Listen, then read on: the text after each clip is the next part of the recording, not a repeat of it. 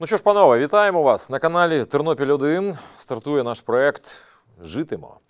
Житимо, панове, завдяки та всупереч, аби знати, бути і могти. Мене звати Олександр Лірчук. Щопонеділка, щосереди в вечірньому ефірі нашого телеканалу. Чекайте на наших гостей у нашому проєкті. Ми витягаємо в ефір Тернопільського телеканалу людей, інтелектуалів зі всієї України, здебільшого з міста Київ, які думають про майбутнє і теперішнє України. Звичайно, ми всі з вами живемо з надією кожного ранку прокидаємось про те, щоб ця війна якомога швидше закінчилась, щоб Путін помер, е, щоб якомога швидше нарешті почався наш контрнаступ. Ми живемо в очікуванні, в очікуванні дива, що раптом, можливо, одного дня все це закінчиться. І навіть такі якісь думки живуть в душах наших співвітчизників, скажу навіть за себе. І є історичний досвід, який підтверджує, що на території пострадянському, особливо там, у Кремлі, періодично відбувалися події, на яких ніхто не очікував. Згадаємо, хоча б розпад Радянського Союзу, ГКЧП, все це ставалося буквально впродовж кількох діб. Сипалася структура імперія радянська на наших з вами очах, і за рік, за два, за півроку навіть ніхто не міг собі уявити, що таке може статися. Нагадаю, ще один на початку нашої програми історичний факт.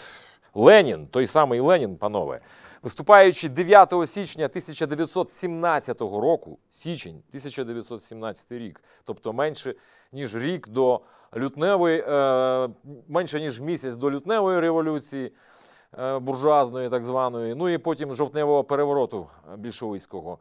Менше року було, так? І от 9 січня 17 року в Цюріху Ленін, виступаючи на зібранні молодих швейцарських соціал-демократів, визнав: ми, стояки, може бути, не доживемо до еволюції в Росії. Тобто сам Ленін не думав, що через рік він візьме владу у цілій імперії, фактично, колишній вже царській. Е, Отже, що ж на нас чекає? Як нам бути з тим нашим сусідом? Для того, щоб розібратися в цих питаннях, я дозволю собі запросити в наш ефір нашого сьогоднішнього гостя Вадим Денисенко, директор Українського інституту майбутнього. Пане Вадиме, вітаю вас. Доброго ранку. Доброго Вітаю. часу доби вечора. Вітаю Пане вас. Вадиме, е, я скажу два слова про вас. Ви журналіст, український бізнесмен, народний депутат України восьмого скликання. Були і телевізійником 13-14 рік, були співзасновником одного відомого українського телеканалу загальнонаціонального. І от буквально місяць, якщо не помиляюсь, півтора тому ви е, видали книжку з такою промовистою назвою Як зруйнувати руський мір. Причому знаку запитання в кінці немає у назві вашої книги. Е, Тобто це не запитання, це ствердження, це як алгоритм дій, так наскільки я розумію. Отже, як, пане Вадиме, зруйнувати руський мір? Ви знаєте? Ну, в принципі, е, в цій книзі я пробую давати відповідь на питання: по-перше, що таке русський мір? По-друге, е, як з ним боротися, чого він боїться і що його може зламати. Тобто, в даному випадку, е, да, справді в цій книжці я, крім всього іншого, остання глава присвячена тому, що з моєї точки зору є ахілесовою п'ятою руського міра, руського міра і як насправді е, його почати руйнувати. Але почати нам насправді потрібно з того, що таке руський мір, тому що у нас Угу. е, багато хто про нього говорить, але е, у нас фактично, на жаль, його ніхто не досліджує. Почати, напевно, треба з того, що, на жаль, в державі Україна е, в 2023 році на дев'ятому році війни із Російською Федерацією у нас немає жодної інституції, яка б на державному рівні е, займалася вивченням е, Російської Федерації, крім силовиків, які мають свої специфічні задачі. Е, Ні в структурі академії наук, ні в структурі будь-якого університету в Україні, ні на рівні там якихось нижчих, на якихось нижчих рівнях у нас немає центрів, які б займалися Росією. Власне, 24 лютого Український інститут майбутнього прийняв рішення про те, що ми велику частину своєї роботи, на той момент основну, е, ми будемо приділяти перш за все вивченню Росії і розумінням процесів, які там відбуваються.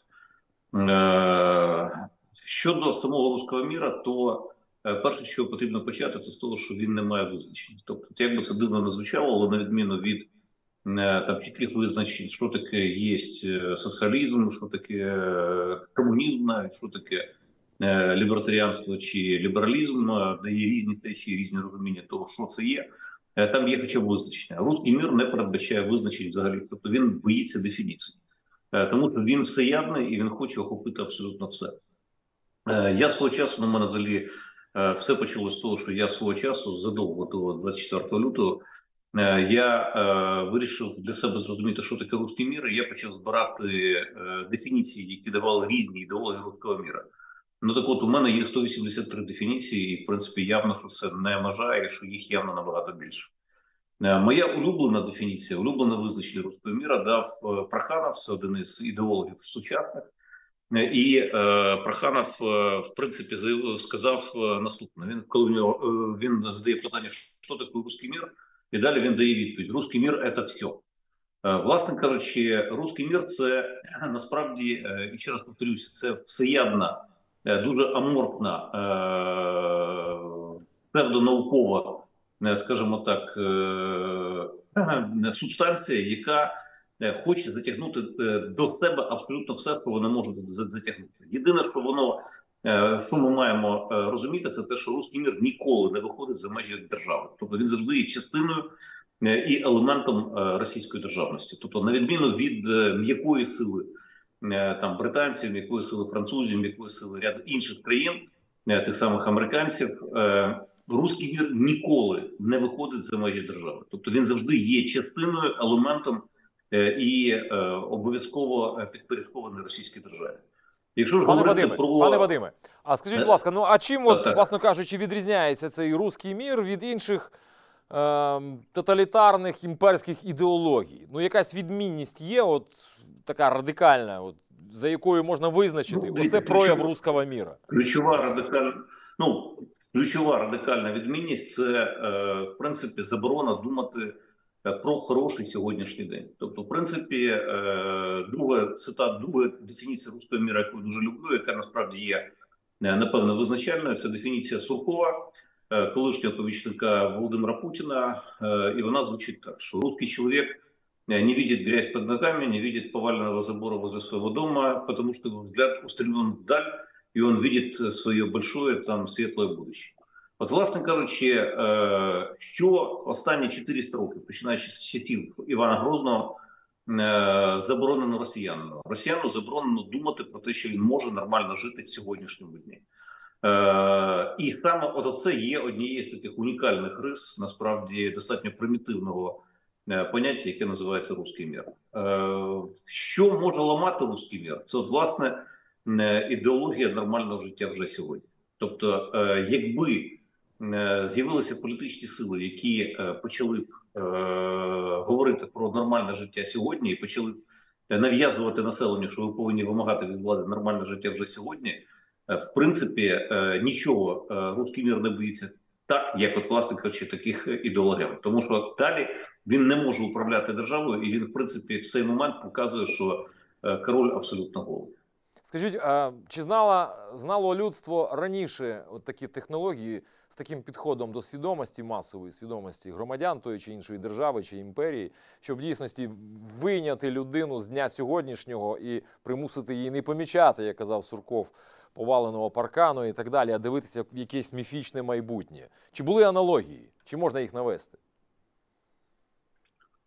Аналогії, які б е, говорили нам про те, що 400 років підряд можна тримати людей однією цією от парадигмою, е, думаю, що не було. Тобто, в даному випадку в цьому є унікальність насправді е, Росії, в тому, що 400 років, 400 останніх років вони взяли собі за основу головну ідеологію, що ні в якому разі не думайте про хороше сучасне. Добре вам буде потім, через багато років. Е, І, е, звичайно, от 400 років підряд вони роблять одне і те ж саме. Вони говорять людям своїм е, підданим про те, що далі вам буде краще, а зараз е, вам треба терпіти. І це повторюється з покоління в покоління. Ще раз повторюся, е, 4 століття. Послухайте, ну десь, напевно, ця от голка цього кащея в якомусь яйці. Розумієте, ну десь є, має бути якісь, якісь пояснення того, що ця ідеологія з покоління в покоління відтворюється. Де воно живе, оцей дух у цього всього, про що ви говорите? В чому воно живе?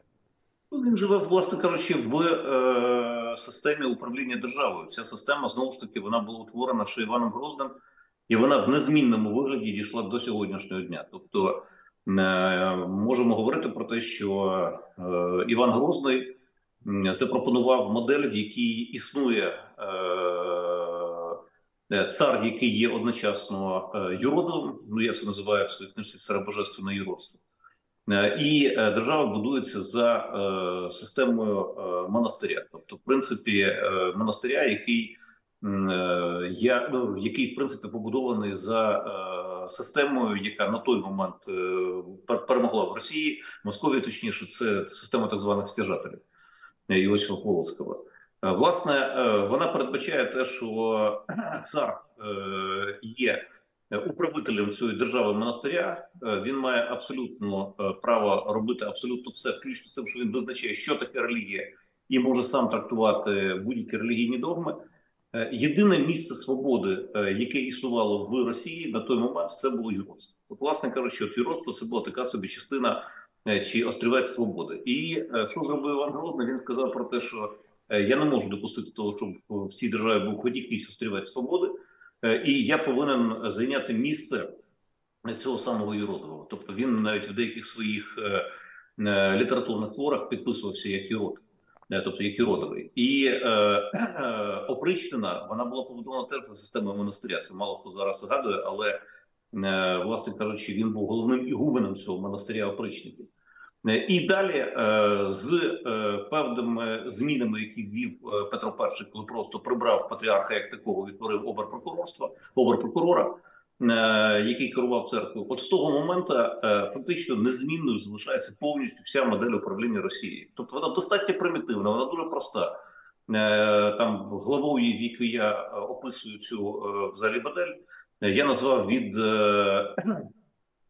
юродства Івана Грозного до вставання з колін Володимира Путіна. По суті, вставання з колін це та сама частина юродства і те саме бажання зайти на територію теоретично можливої свободи, яка є в цій державі, і забрати цю навіть теоретично можливу е, свободу, яка була у громадян. Тому, от е, в цьому вигляді, оця держава, на жаль, існує теж 400 років.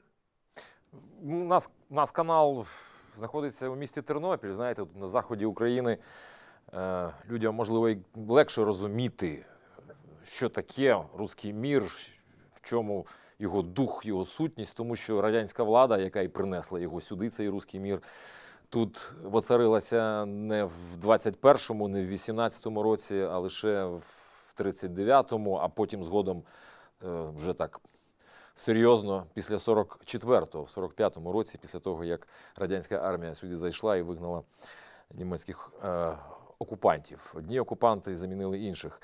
Е, от скажіть, будь ласка, тут з цієї точки зору, от ви кажете, юродство, і все це відтворюється в них. Чи можемо вважати населення цієї країни Російської Федерації і самого Путіна заручниками цієї ситуації? Чи, чи свідомо вони відтворюють все це? Чи е, підсвідомо, чи несвідомо? Ну, в принципі, є частина, яка свідомо це відтворює, є частина, яка підсвідомо підкоряється цьому ділу. Е, Тому тут не можна говорити про якусь середню температуру по палаті. Тут є е, частина, яка е, стоїть на вершині цієї піраміди. Це люди, які абсолютно свідомо все це роблять і абсолютно свідомо пробують кожен на своєму місці удосконалювати цю систему. Є частина еліт, які в принципі сприймають цю історію повністю і говорять.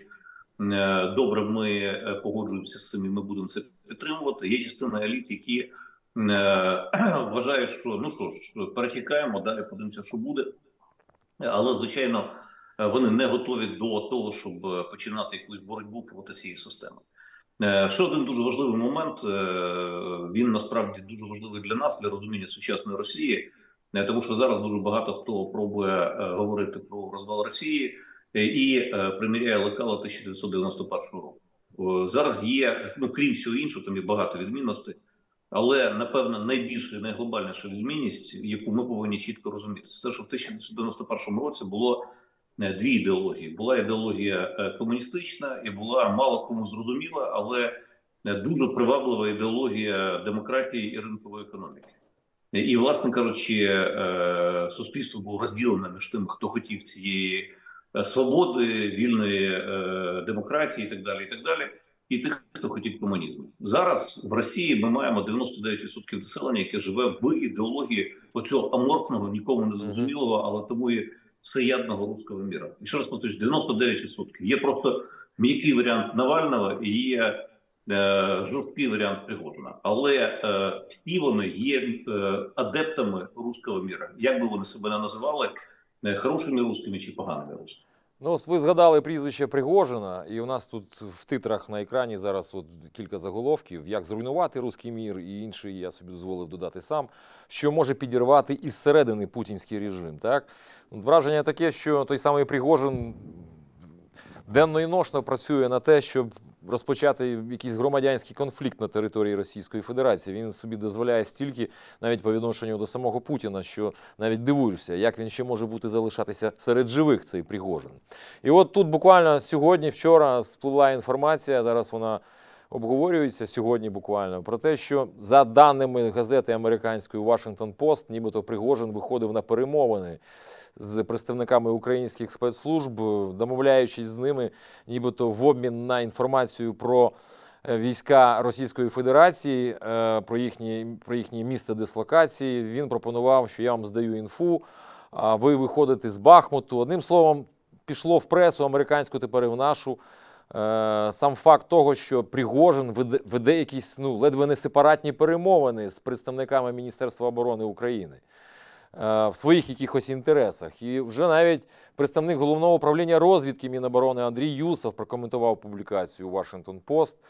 Е, Він заявив: я думаю, що Україна повинна, і звичайно, спецслужби будуть і повинні обговорювати подібні речі тоді, коли це буде потрібно. Сам факт е, того, що вспливла ця інформація, він коментує. Е, І коли це буде потрібно і відповідатиме національним інтересам України, зрозуміло, що Україна робить все можливе для того, щоб захищати власні національні інтереси, ефективно доокуповувати територію. Тобто, можливо, такі е, контакти і були в інтересах України. Чи вірите ви в те, е, що Пригожин може грати свою гру, якусь незалежну від Кремля? Ну, в принципі, е, перш за все, Пригожин не є самостійною фігурою. Ми повинні це дуже чітко розуміти. Пригожин е, входить до е, групи так званих Ковальчуків, е, ну, чи до так званої групи Ковальчуків, е, і е, він є їхньою частиною. Але перше, що ми повинні розуміти, коли ми говоримо про Пригожина, це те, що він не є опозиціонером. На всякому разі, до е, останніх днів він не був опозиціонером до Володимира Путіна. Е, Він був людиною, яка робила все те, що йому не забороняє Путін. От я просто хочу, щоб ви зрозуміли відмінність, не дозволяє, а саме не забороняє Володимир Путін. Е, І е, він виконував цю роль достатньо успішно. Треба віддати йому належне, що він насправді геніальний піарник. Це людина, яка може з нуля робити справді дуже цікаві інформприводи і змушувати суспільство про себе говорити. Але в нього є дві прямо протилежні задачі. Він вважає, що він може їх зробити, але поки що все виглядає на те, що від чогось йому доведеться відмовитися, можливо і програти абсолютно все. Е, Він хоче з однієї сторони е, вірватися в вищу лігу російської політики і справді контролювати одну із е, думських партій. Поки що це ми можемо говорити про справедливу Росію. З іншої сторони, він хоче залишитись головним росіянином в Африці. Е, Справді він має достатньо серйозні впливи в Африці. Він справді має особисті контакти в Африці із цілим рядом лідерів країн африканських, Е, і справді е, там він заробляє основну частину своїх грошей. Е, І третій момент, який ви повинні розуміти, коли ми говоримо про останні дні, у нього банально закінчуються люди. Після того, як у нього не стало можливості отримувати поповнення із зеків, у нього зникла можливість набирати великі маси людей. Е, Коли він говорив кілька днів тому про те, що в нього щодня гине приблизно 100 людей, ми повинні розуміти, що крім цих 100 загиблих, у нього мінімум ще 300 поранених. Тобто в нього щоденні втрати приблизно 400 людей.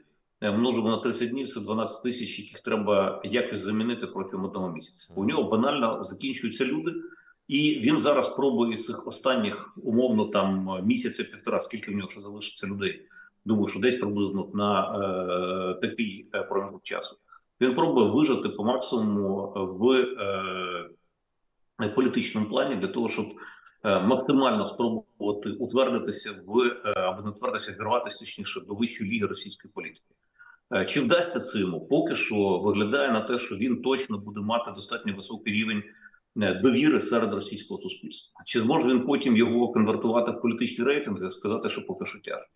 А відносно того, були контакти чи не були із е, українською розвідкою, ну тут напевне мають коментувати все ж таки е, військові. Тут має коментувати е, українська розвідка. Якщо Андрій Юсов, е, як представник гурмо, дав такий коментар, тут я навряд чи зможу щось додати до того, що сказав Андрій. Тут вже заява і прес-секретаря російського диктатора Путіна Дмитра Піскова, який, як сам Путін свого часу сказав про нього, несе деколи таку пургу. Заслужений пургамьот Російської Федерації Дмитро Песков заявив, що інформація газети Washington Post про нібито спроби ватажка ПВК Вагнер Євгена Пригожина домовитись з українською розвідкою це обман. Е, Чи може бути це вкид у цей от від американської газети теж складової якоїсь спецоперації, яку проводить Україна спільно зі своїми західними партнерами, щоб вбити клин у стосунки між Пригожиним, Путіним і іншими сил- силами всередині Росії? Ну, дивіться, перше, е, ми повинні зрозуміти, що Пригожин і Путін це не, е, не співмірні просто величини. Пригожин це обслуга. От просто щоб ми розуміли, це обслуга в даному випадку, який справді хоче ввірватися в е, вищу лігу. Але поки що це обслуга, яка знаходиться десь там в першій лізі. А якщо футбольними термінами говорити, то це людина, яка ну в принципі максимум, що йому дають, це накачувати м'ячі. Е, І інколи, в принципі, відтестувати травичку на газоні, але не більш того. Пане Вадиме, Він так зрозуміло, в нас небагато е, часу. змінити Так, у нас небагато часу, вибачте, у нас буквально хвилин е, сім лишається, тому я собі дозволю трошечки втрутитись. Е, Наостанок, просто ви кажете, що Пригожин це там нижча ліга і так далі. Але ж я дозволю собі паралелі, я починав з Леніна. Е, Мені чомусь Пригожин не тільки мені нагадує того самого Троцького, знаєте. І е, за рік до революції, за півроку, хто б міг подумати, що якийсь Троцький займе місце буде претендувати там на, на місце, яке свого часу століттями займали представники Романівської династії царської. Розумієте? Ніхто ж не міг подумати про це. Чи не, варто наводити, можливо, мені таких аналогій, але все ж таки, що ви скажете? Ні, дивіться, ми не можемо нічого виключати. Я ще раз говорю, що після е, як би не закінчилася вся ця історія із е, Бахмутом, уже зараз можна сказати про те, що е, Пригожин отримав достатньо високий рівень довіри е, серед російського населення. Він е, за 6 місяців, е, починаючи з нового року, він по суті зробив е, рівень уздаваємості із нуля майже до більш ніж 80%, і е, рівень довіри в нього досягає десь приблизно до 50%. Тобто питання тільки в тому, чи зможе він це конвертувати в е, політичні дивіденди. Ми просто повинні всі чітко зрозуміти, що зробити переворот е, в цілому е, не дуже складно. Питання в тому, чи маєш ти можливість утримати владу е, після цього перевороту. От, власне, е, поки що відповіді на це питання немає. Тому, коли я говорю про те, що е, він буде мати достатньо високий рівень довіри, це факт. Чи зможе він його потім конвертувати в політичні рейтинги? Е, Або можливості, поки що про це говорити складно. Але ще раз скажу, що поки що він не є опозиціонером до Путіна, хоч він і грає там е, на грані кола, Е, і все ще він залишається частиною групи Ковальчуків. Ковальчуки це люди, які входять в ближнє оточення Путіна, які з ними ще з часів кооператива озеро. І власне Юрій Ковальчук це була людина, яка просиділа в бункері з Путіним ковідний рік, і був одним із головних його головних його ну інтелектуальних лапках спаринг партнерів з приводу його всіх цих історичних екзор- екзорцисів.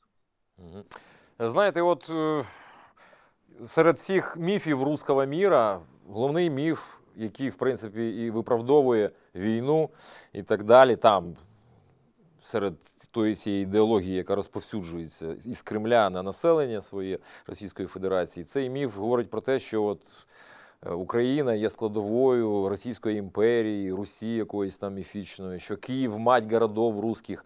І от мені здається, що якщо б вибити у цю ідеологему головну складову про Київ мать городов русських, тоді б і сам руський мір би е, був, був позбавлений головної своєї складової, на яку свого кістяка, на якому наростає м'ясо. І тут е, останніми роками дуже багато істориків російських, як їх називають альтернативні історики, е, проробляють тему е, стародавньої е, так званої Тартарії. Е, Древньої Тартарії, яка знаходилася якраз на території теперішньої Російської Федерації, центральної частини Сибіру і так далі. І от навіть 20 січня 2017 року е, Путін разом з Медведєвим вручили в якості подарунку президенту Тартарії ой, Татарстану Шаймієву карту голландського картографа 17 століття Вілема Блау, карту стародавньої древньої великої Тартарії. Розумієте, якщо б от проробити цю всю історію, цю, цей міф з нашого боку і російським альтернативним історикам, щоб переконати населення Російської Федерації, що вони не походять від Києва, що вони в них свій, розумієте, там десь джерело їхньої цивілізації. Можливо, б таким чином вони від нас би відстали. Ну, чесно кажучи, поки що я не бачу такої можливості. Я, чесно кажучи, думаю, що це е, станом на зараз е, неможливо. Якщо говорити про Тартарію, тут все дуже просто. Е, В Європі в 13 столітті, коли з'явилися монголо-татари, вони викликали величезну переполох, причому в усій Європі, включно не з Лондоном. Тобто навіть в Британії боялися, що татари можуть до них дійти. А в силу того, що співзвучність слова татарин і тартар було прийнято рішення, е, було прийнято багато хто з'явилося достатньо багато ескатологічних речей, Е, і е, тому монголо-татар багато хто е, вважав, е, що це е, народ, який е, був закритий е, Олександром Македонським, а потім із Тартара його витягли, і от усе, власне кажучи, із пекла прийшли е, якісь воїни, які будуть е, нищити взагалі весь християнський світ. Тому от звідси з'явилося це поняття Тартарії і так званої Великої Тартарії. Тому, на жаль, я думаю, що тут поки що говорити про те, що ми можемо е, вибити зараз з голів росіян е, Київ, то це фактично нереалістично. Можливо, поки що так, але от я особисто сам цікавлюсь альтернативною так званою історією і спостерігаючи за російськими діячами в цій царині, я бачу, що от буквально за там, крайніх 10 років вони зробили великий прогрес в плані пропаганди цієї от міфологеми про велику Тартарію, звідки і пішов от, руський народ насправді. Багато чого зроблено, книжки видаються, семінари проводяться вже на офіційному рівні. Вони, так би мовити, легалізують сам термін древньої великої Тартарії. І е, в своїх працях ці історики вони якраз і розділяють там у тих от татар, монгола-татар і Тартарію, що це різні абсолютно речі. Ну, поживемо, побачимо, як то кажуть. Що ж, дякую вам за участь у нашій програмі. Сподіваюсь, не востаннє. Ми вас бачимо. Тому, пане Вадиме, так би мовити, до кращих часів. Вадим Денисенко був з нами в ефірі Дякую. директор Українського інституту майбутнього. Я, Олександр Люрчук, теж з вами прощаюсь, панове. Щопонеділка, щосереди в вечірньому ефірі каналу Тернопіль 1 програма Житимо. Житимо завдяки та всупереч, аби знати, бути і могти. Тримайтеся.